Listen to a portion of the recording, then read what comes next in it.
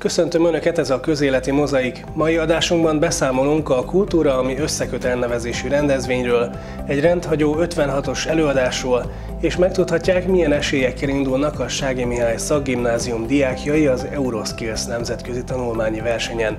Ezt követően egy hosszabb beszélgetést láthatnak a nemrég megalakult pedagógus nyugdíjas klubról. Kérem, tartsanak velünk ma is!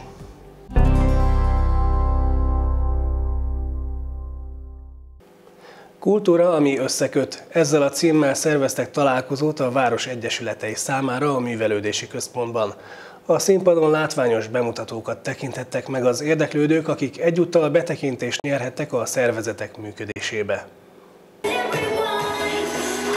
Látványos, modern táncbemutatót is láthattak az érdeklődők a Magyar Király díszterem színpadán, a hagyományosan megrendezett civil egyesületek találkozójára idén is sokan voltak kíváncsiak.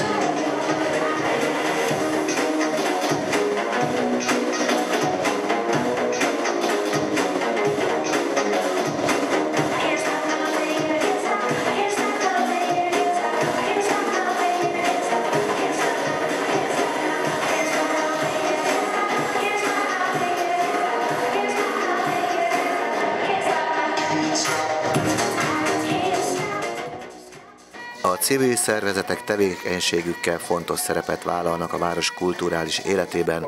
Bedő Tamás polgármester megnyitó szavaiban kiemelte, hogy a civil egyesületek nélkül Csongrádon nem lenne közösségi élet. Különböző számunkra, hogy másik alkalommal van megrendezve ez a mondjuk nyugodtan talán fórum, találkozó, ahol egy kicsit a városnak, de önmaguknak és a társszervezeteknek is be tudnak mutatkozni a városban tevékenykedő civil egyesületek alapítványok. Idén sincs ez másképp, köszönhetően pályázati lehetőségnek a Pont Szabadidő Egyesület nyújtott be, és hát bízom benne, hogy eléri a célját ez a rendezvény.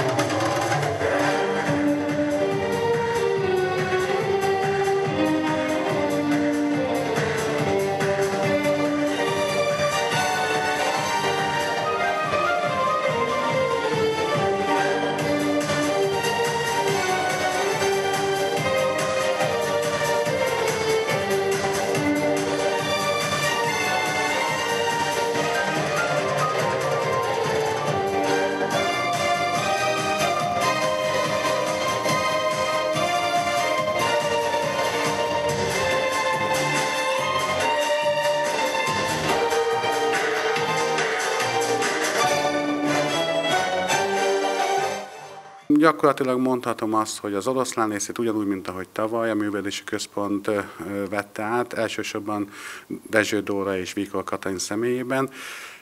Én mindig is mondtam, hogy az egész az ő érdemük, amit ők, ők tényleg csinálnak. Mi csak a háttérben dolgoztunk, illetve igyekeztem azt csinálni, amit ők mondtak, illetve ők segítettek, hogy mi mindent kellene még, de ők voltak azok, akik jobban átlátták az egészet. Úgy gondolom, hogy a szervezésnek az oroszlán is az övék volt, de mi részünkről is, az Egyesület részéről a, a vendégeinknek, illetve a színpadon szereplők részére egy, egy tárítás vacsorával kedveskedünk, illetve a gyermekek részére egy pici kis meglepetés ajándékot adtunk mindenki részére. Én úgy gondolom, hogy most már flottabbul ment a szervezés, mint az előző évben, akkor én részemről teljes nagy tapasztalatlanság volt, most már kicsivel könnyebb volt. A városlakók részére szükség van arra, hogy, hogy lássák, hogy milyen civil szervezetek vannak a városban. Nagyon fontos az, hogy lássák, milyen, milyen alapítványok, milyen, milyen sportegyesületek vannak, és talán ez az én ötletem volt idén, hogy hívjuk meg a sportegyesületeket is, mindenkinek kiküldtem a levelet, és voltak, akik versenyre mentek, voltak, akik elnézést kértek, nem tudtak eljönni, mert ténylegesen elfoglaltságban akár triatlonistákat nézem, akár focistákat is nézem. De örömmel vették a vízilabdások, a, a, az evezősök is, hogy igenis bemutatkozzanak, bemutatkozhassanak, akár fiatalokat megszólíthassanak esetleg az ő sportáguknak. Ugyanígy örömmel jöttek az iskolai alapítványtól is, a Piroskavási iskola is itt van és képviseli magát, a, a László Gyula iskola is felgyőről. Pontosan azért, mert ott is ott is élnek emberek, ott is vannak gyerekek, ott is mindent az, a tanárok a gyerekekért tesznek, és számomra ez sokkal fontosabb volt, hogy, hogy ők is megjelenjenek, mint hogy, hogy, be, hogy ténylegesen csak a civil, a szó szerint a civil szervezetekre hagyatkozva tartanánk meg a mostani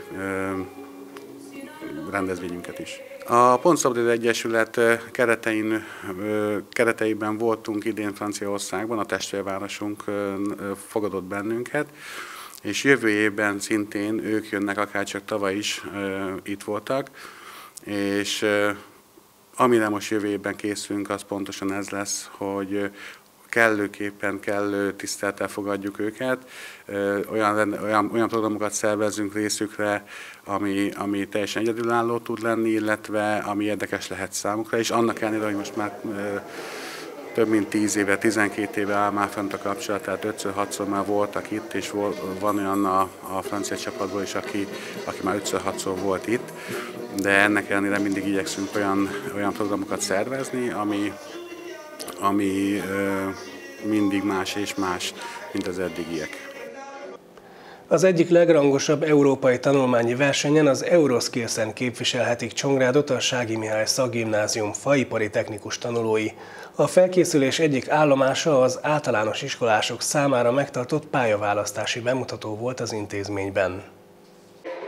Az Euroskills az ifjú szakemberek Európa-bajnoksága a legrangosabb szakmai verseny, melyet idén decemberben ötödik alkalommal rendeznek meg Svédországban. A versenyen több szakma képviselője méri össze tudását, már a részvételi lehetőség is nagy elismerést jelent az adott szakmában. Minden évben megrendezik a szakmák, fiatal szakmunkások Európa-bajnokságát vagy világbajnokságát. Ez két évente váltakozik. Az idén decemberben Göteborgban a fiatal szakmunkások Európa-bajnokságát fogják megrendezni, és a faipari képzés nálunk köztudottan magas színvonalon történik, ezért a, az országos kamara részéről megkerestek bennünket, hogy a, erre a versenyre készülő fiatal szakmunkásoknak tudnánk-e helyet biztosítani a gyakorlásra. Egy épületasztalos, illetve egy bútorasztalos fiatalember készül erre a megmérettetésre, és a verseny is nyilvánosan zajlik, tehát nézők veszik körül őket, ezért ezt a légkört, ezt a milliót is szokni kell a fiataloknak, hogy nem egyedül a műhelyben elzártan kell dolgozniuk, ezért választottak többek között egy iskolát, illetve azért is, mert a mi eszközparkunk olyan a tanműhelyben, amely megfelel ezeknek a feltételeknek, illetve az is köztudott, hogy a tanáraink rendszeresen részt vesznek vizsgafeladatok kidolgozásában, versenyfeladatok kidolgozásában, illetve javításában is, tehát nagyon jó a kapcsolatunk az országos szakmai közösséggel. Budapestről érkeztek a fiatalok, a Kézgyula szakközépiskolában végeztek, az oktatójuk is onnan érkezett, és három napot, kedd, szerda, csütörtökön vannak itt nálunk. 18 óra alatt kell egy-egy munkadarabot elkészíteniük. A épületasztalosnak egy díszes ablakkeretet, a bútorasztalosnak pedig egy, egy fortélyos asztalt kell, ami többfelől nyílik, illetve fiókokkal rendelkezik. Az oktató szigorúan méri a munkával eltöltött időt, tehát adott, hogy mikor tarthatnak szünetet, ő ezt stopper órával méri, hogy hány perc volt, amit valóban munkával töltöttek el, és hogy tudják-e tartani a 18 órás határidőt, hogy elkészüljön megfelelő minőségben a munkadarab. Az Euroskills versenyen az egyéni megmérettetésen kívül csapatversenyre is lehetőség van, ahol a bírálati szempontok között kiemelt a tagok közötti együttműködés. A szakmák képviselői előválogató versenyeken mérik össze tudásukat, így a legjobbak kerülnek a döntőbe. Amit a két versenyző elkészít, ő, az egyikük egy ablak, amit elkészít, ő jó részt kéziszerszámokat használ, véső, tehát kézi jelölőeszközök, vonalzó, még amit használ, főként ők mérőlécet használnak, ami nekünk újdonság itt az iskolán belül. A társa, aki bútorasztalos, ő egy asztalt készít, ő főként gépeket használ, ő marógép, csiszológépet még, amit használ, gérvágó fűrész, gépi gérvágó körfűrészt. Ő is használ kézi szerszámokat elég sokat, de ő már főként gépe, gépiesítve van. A két diákunk, aki részemről osztálytárs, ők az egyik ö, munkadarabnak egy alkatrész darabját készítik el, ez egy, ö, egy komódnak az ajtaja. Ö, elég érdekes, mert ö, ezzel a formával mi még nem találkoztunk, és mind a rajz, mind az elkészítés elég nehéz nekik. Igazándiból nagyon szeretjük a szakmát mindannyian, tehát elejét a végéig odafigyelve, egymást is tiszteletbe tartva dolgozunk nap, mint nap együtt.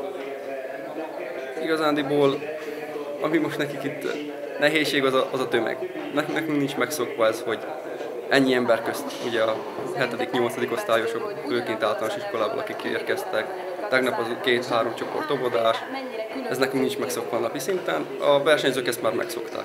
Ő rajtuk látszott ott az, hogy őket ez nem zavarja, nyugodtan dolgoztak, odafigyelve, precízen. Nálunk ez egy kicsit még így, így problémát vagy nehézséget jelent. A Magyar Művészeti Akadémia pályázatot írt ki az 56-os események megemlékezésére. A Csongrádi Művelődési Központ sikeresen nyert erre forrást, így több iskolában tudtak erről a történelmi időszakról kulturális előadásokat szervezni. Ugyancsak nagy sikerű előadást tartottak a Művelődési Központ dísztermében és középiskolások számára, de Csongrád környékén lévő települések általános iskoláiban is rendeztek ezzel a történelmi eseménnyel kapcsolatos irodalmi megemlékezéseket versel és filmvetítéssel több iskolába is eljutottunk. Hétfőn Csanyteleken, Felgyőn és Bokroson voltunk a 7.-8. osztályosoknál, kedden a Piroskaváros és a Széchenyi iskolában, ma délelőtt pedig már reggel a Bacsányi gimnáziumban kezdtünk, most pedig 11 órakor a díszteremben három középiskola diákjai lesznek jelen. A Bársony szakközépiskola, a Sági szakközépiskola és Óbecséről érkeztek a mai napon vendégek, és ők is megnézik Tóth Péter, Lóránt, Radnót és Latonivics díjas versmondónak a diákok voltak, és ők csinálták a Dicsőséges Forradalmat című előadását. Azt tapasztaltuk, hiszen több százan látták ezeket az előadásokat, és mindig tanterembe, tehát hogy egészen más a gyerekek fogad, részéről a fogadtatás egy ilyen rendhagyó irodalom és történelem óra kapcsán egy-egy esemény vagy egy-egy költőhöz való viszonyulásuk, hiszen nem a megszokott száraz tananyagot kapják, hanem egészen más színes összeállításból tudhatják meg mindazt, hogy milyen okok vezettek az október 23-ai eseményekhez, milyen következmények voltak, és egyáltalán milyen volt ennek a korszaknak a hangulata.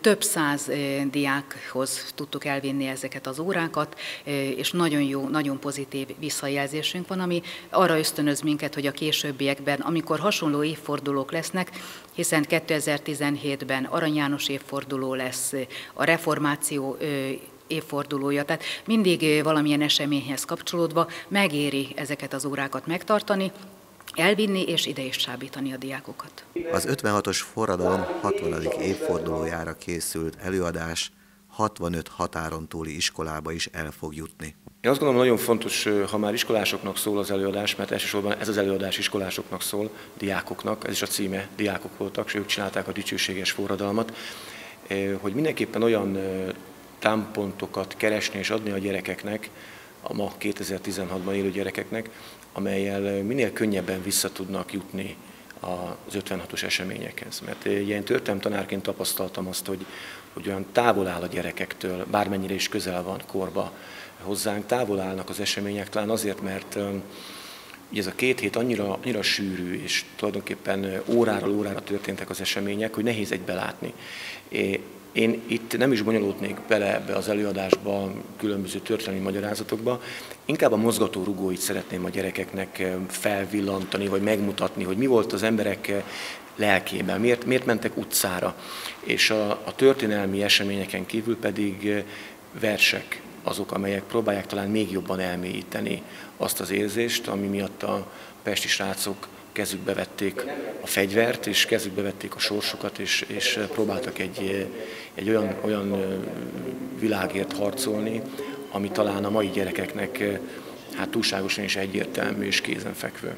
Én azt gondolom, hogy minden azon múlik, hogy, hogy hogyan van tálalva az a bizonyos téma. Ugye a József Attila előadásaimmal voltam már itt Csongrádon, ahol szintén azt az oldalát próbáltam megfogni, hogy mi az, ami a gyerekek, a mai élő gyerekek és mondjuk József Attila életében közös. Én azt gondolom, hogy a gyerekek igenis nyitottak erre a fajta előadásra, mert hogy attól függetlenül, hogy lehet, hogy egész nap a, a, a telefonjaikkal és különböző internetes játékokkal és csatornákkal vannak elfoglalva, tehát tulajdonképpen hát a, a lélek az, az, az ott van bennük, és az a lélek az, az, az, az érez, az, az érdeklődik, és azt gondolom, hogy, hogy így az emberi érzés, érzések sem változnak, bármennyi év telt el, akár most ugye 56-tól. Szóval, hogyha ezeket a páncélokat, amik, amik a gyermekek lelkén vagy szívébe esetleg rajta vannak, szépen lefejtjük, azt gondolom, hogy, hogy olyan, olyan kincseket találunk, ami, ami, ami, ami igazán emberé teszi őket. És ezek az előadások talán segítenek egy kicsit nekik ebben. A közelmúltban megalakult a Csongrádi Pedagógus Nyugdíjas Klub. A következő percekben megtudhatják, milyen tervekkel, illetve rendezvényekkel készülnek a klub vezetői a következő időszakra.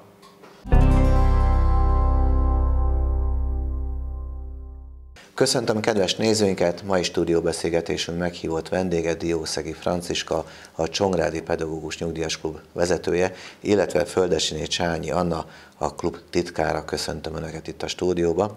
Ha létezik aktív munkaviszony után, főleg az ön esetében az aktív nyugdíjas időszak, hát hogy változtatta meg a nyugdíjas időszak az ön életét?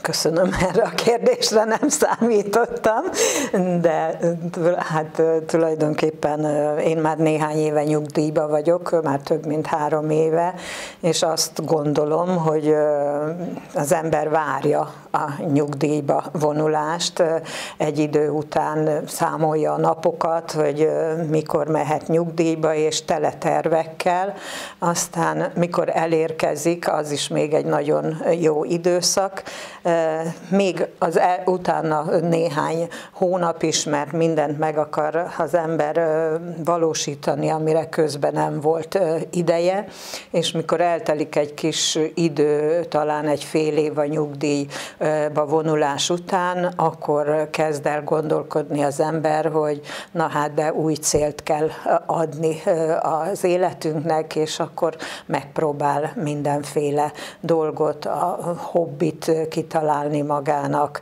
azután esetleg valamiféle közösséghez tartozás, nem véletlenül, ugye a pedagógus nyugdíjas klub is ilyen ötlet alapján jött létre, nem csak a sajátom, hanem más, másoknak is volt hasonló igénye és hát nem utolsó sorban, hogy az embernek nem kell minden nap elmenni a munkahelyére, nem kell olyan korán kelnie, és hát sokkal szabadabban töltheti a mindennapjait, többi, többet időszet olyan dolgokkal, amire korábban nem volt ideje. Én erre mindig példának azt szoktam mondani, hogy mikor dolgoztam, észre se vettem, hogy a kertben hogyan nyílnak otthon a virágok, mert mert korán elmentem, este későn esetleg sötétbe hazamentem, és most viszont amire én szeretném, arra van idő.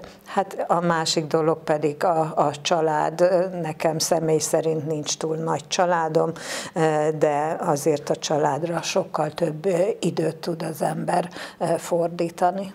Én azért emlékszem az utolsó riportunkra, tényleg ilyen három évvel ezelőtti időszak volt, viszont abban az időszakban ön nagyon sűrű látogatta a stúdiónkat, rengeteg riportot forgattunk önnel, tehát azt lehet mondani, hogy százasan égett a gyertya az aktív időszakban, és azt sem hiszem el, hogy egy picivel kevesebb lenne a nyugdíjas időszakban.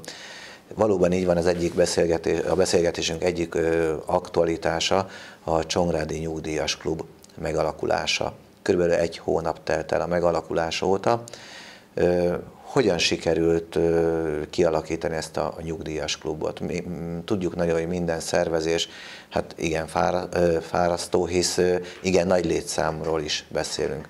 De inkább ő mondja el, hogy hogyan alakult ez ki több, többekkel beszélgetve jött az ötlet, hogy valamit, valamilyen fajta kis közösséget a nyugdíjba vonult pedagógusokból össze kellene hozni, és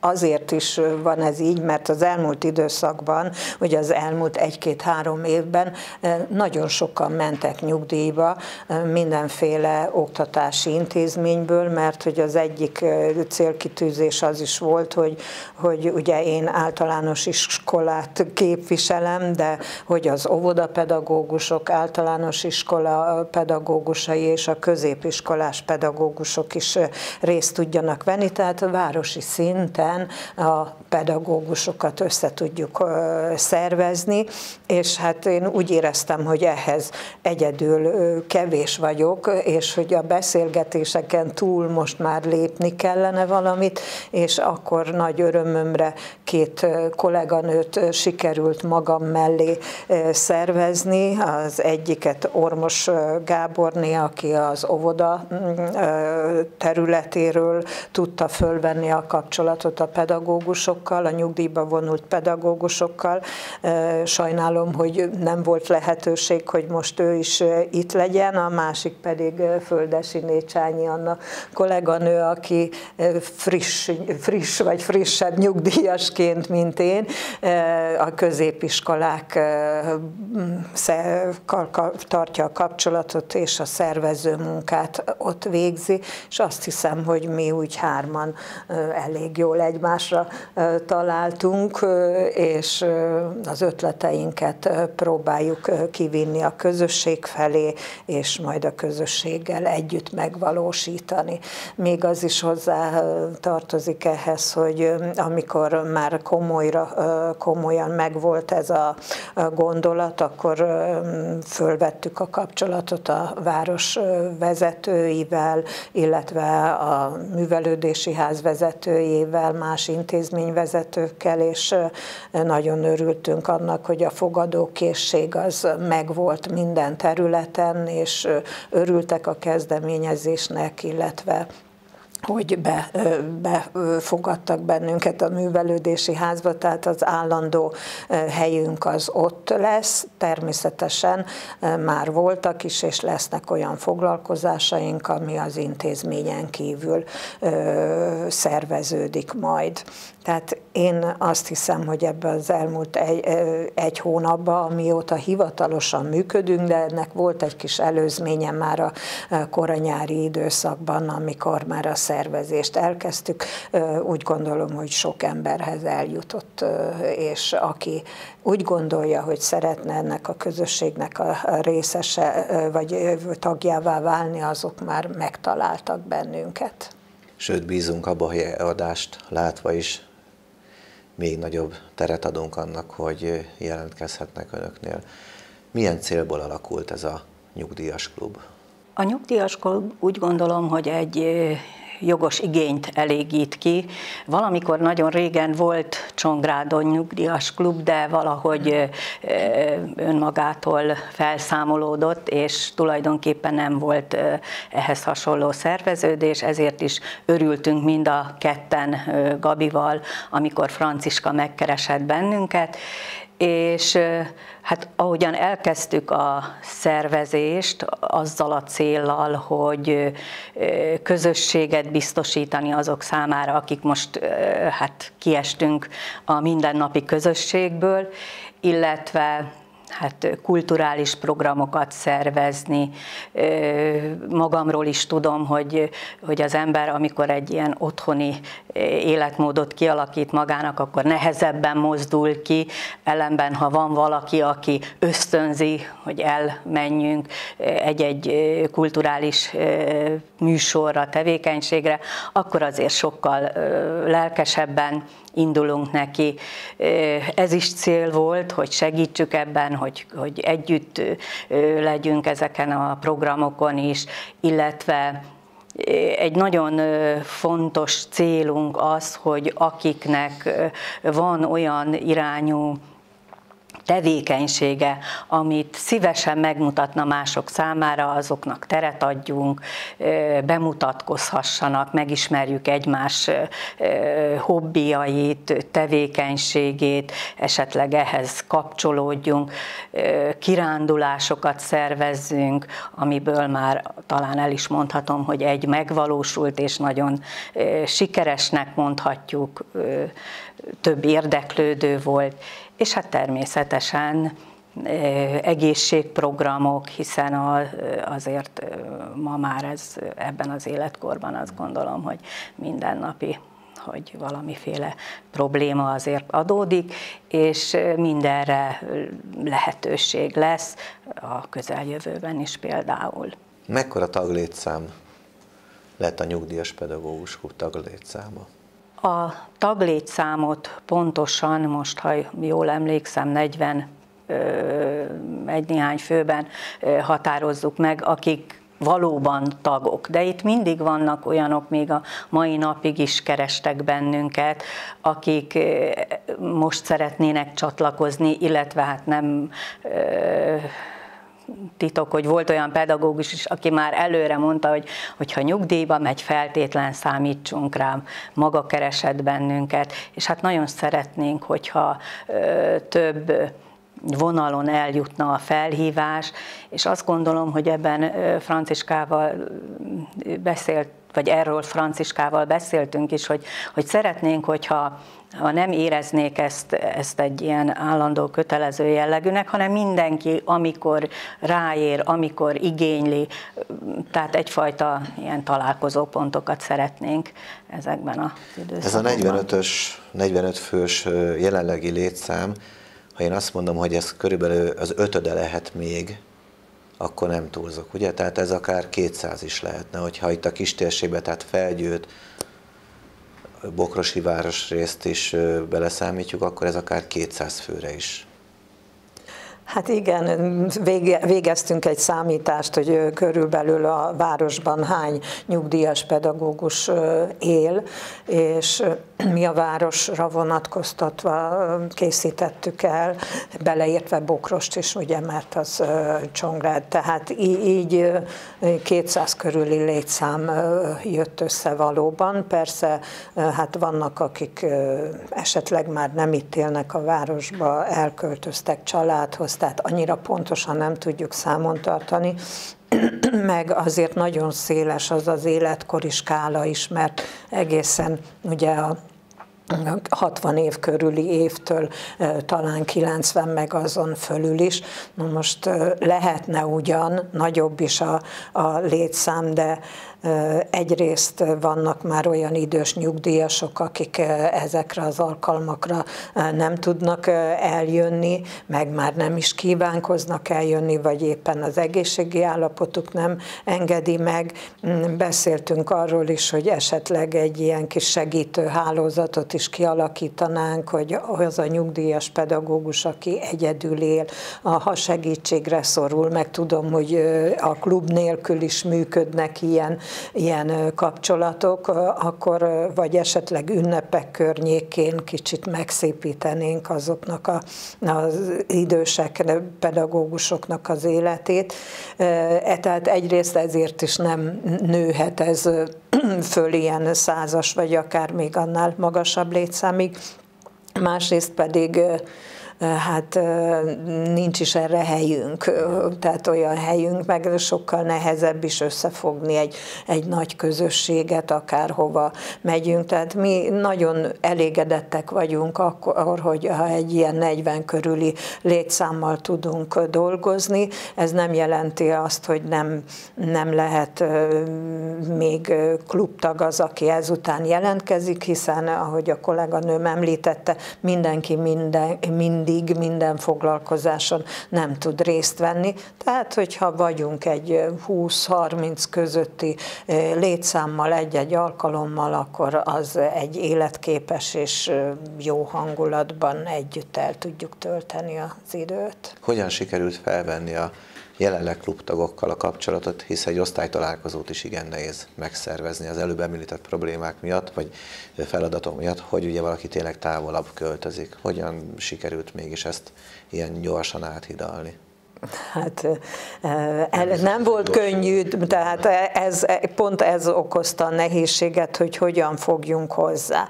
Tehát azt nem tudtuk megtenni, hogy most közel 200 pedagógusnak a címét és mindenkinek levelet juttassunk el. Nem. Először mi kiindultunk hárman magunkból, hogy a saját körünkbe, tehát ismerős körünkbe próbáltuk terjeszteni. Utána összehoztunk egy egy alkalmat, akkor voltunk 12-13-an, akkor ott megbeszéltük, hogy mit szeretnénk tovább, vigyék a hírt, aztán utána szerveztünk egy másik alkalmat a nyár elején, ott már voltunk 25-en, utána megjelentettük a médiat, a lehetőségeket kihasználva, Csongrádi viszonylatban, a kábel tévébe, Csongrád újságba, rádióba, megkapva az első, most az alakuló ülésnek az időpontját, közben gyűjtöttük az e-mail címeket, és hát ez az elektronikus lehetőség azért nagyon megkönnyíti a helyzetünket, mert igaz, hogy nyugdíjas pedagógusok, de nagy része azért rendelkezik elektronikus eléréssel is, és ezzel tudunk kommunikálni a következőkben is, tehát egy-egy program kérdésénél.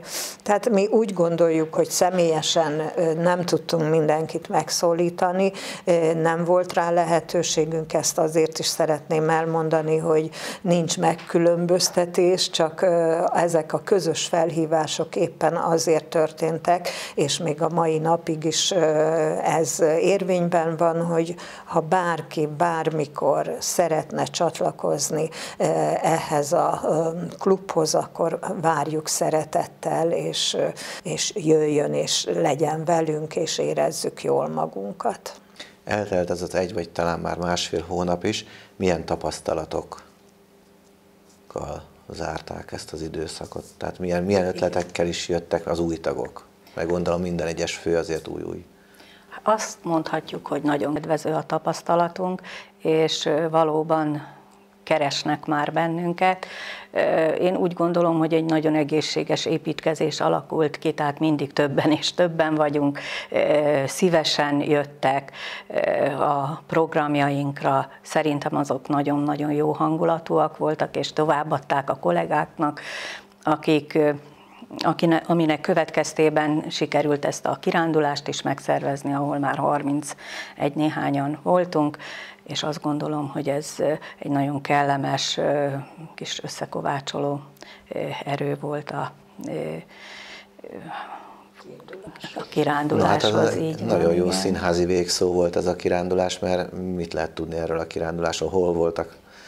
Gyulán voltunk, összeállított programsort, Franciska állította össze a programsort, egy nagyon kis tartalmas, de ugyanakkor arra is lehetőséget nyújtott azt hiszem mindenkinek, hogy személyesen beszélgethetett, nagyon jó volt újra találkozni a kollégákkal, beszélgetni, megosztani ki mivel foglalkozik. Tehát én azt gondolom, hogy ez egy követendő példa, már éppen mielőtt itt vártunk, beszéltünk is Franciskával erről, hogy talán érdemes lenne még próbálkozni ez ügyben, mert ez valóban egy igényt elégített ki, és hát természetesen jönnek még közben néhány olyan kellemes program, amiben hát szeretnénk akár karácsony környékén egy kis karitatív tevékenységet végezni, egy egészségfelmérés, és Fábiáné Szent Cíbolyának egy könyvbemutatója,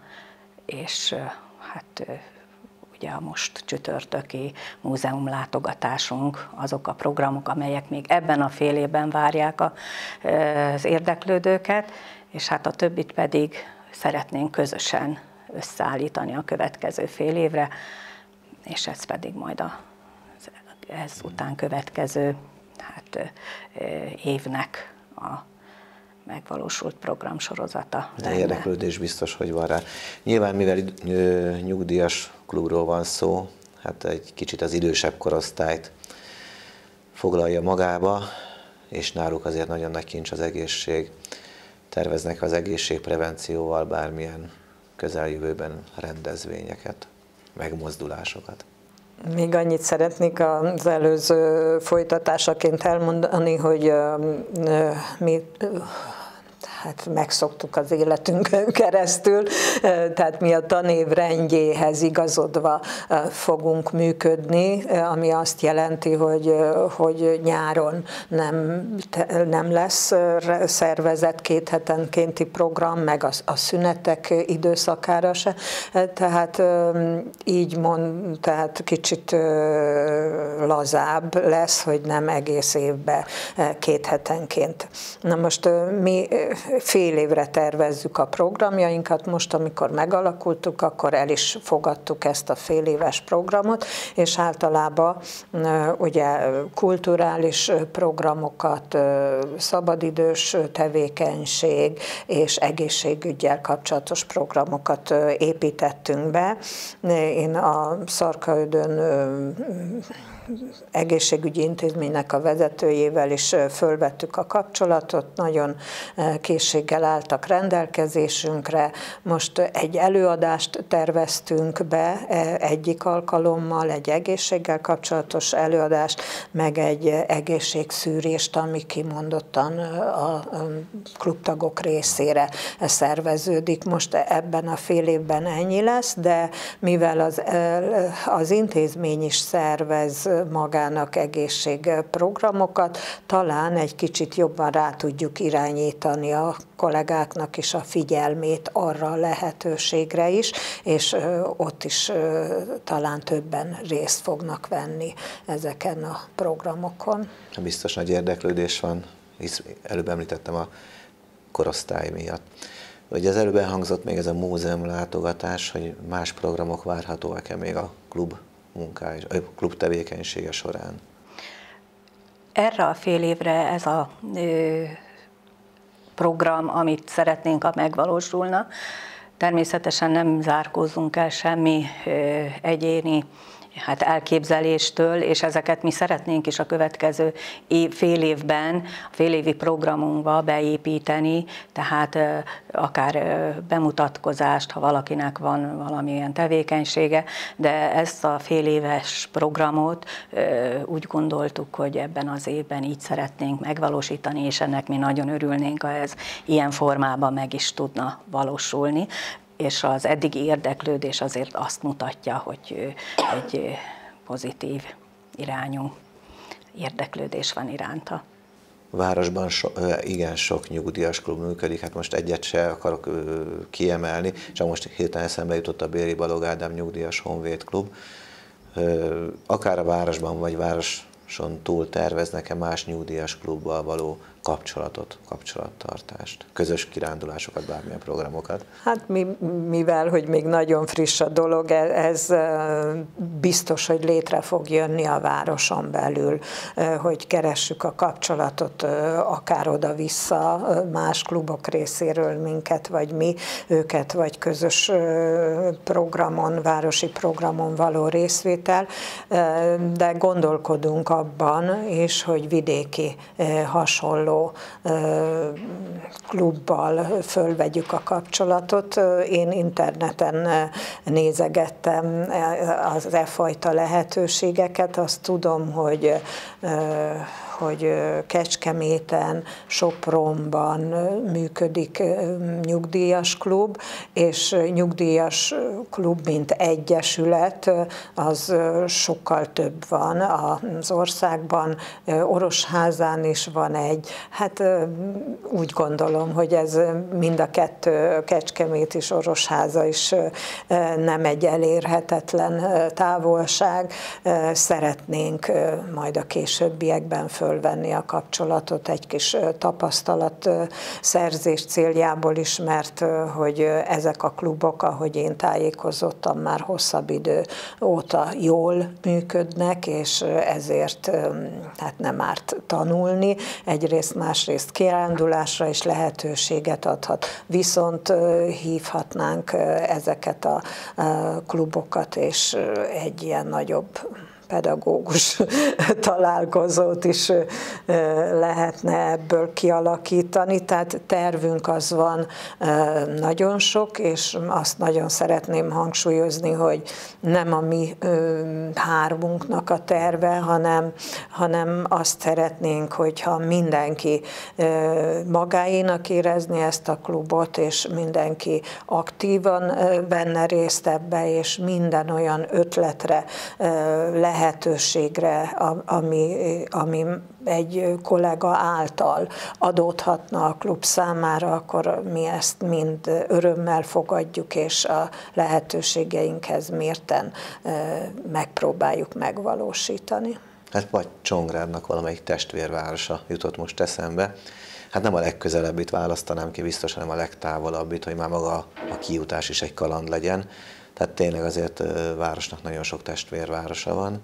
Hát akár most nem feltétlenül Óbecsére gondoltam, de bármelyik is egy-egy alternatívát jelenthet. Mivel műsorodjánk lejárt, így megköszönöm, hogy befáradtak a stúdióba és bemutatták a nyugdíjas klub életét, és ismételten felhívjuk akkor azon érdeklődőknek a figyelmét, akik ez a klubhoz szeretnének csatlakozni, akkor, hogy önöknél megtehetik. Köszönöm szépen még egyszer, hogy befáradtak. Mi is köszönjük az érdeklődést, és bízunk benne, hogy egy-két év múlva be tudunk számolni sokkal több mindenről, mint ami eddig történt, mert nagyon rövid az idő.